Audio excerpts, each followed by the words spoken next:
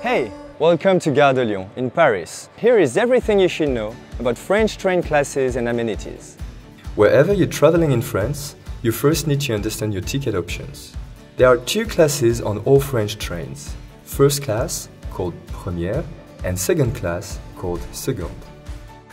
Both classes on TGV, high-speed trains, have sockets to charge your devices.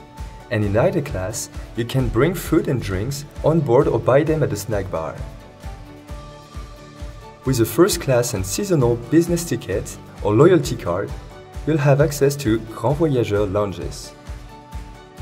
Traveling by train, bus or flights, book your next journey with Omio.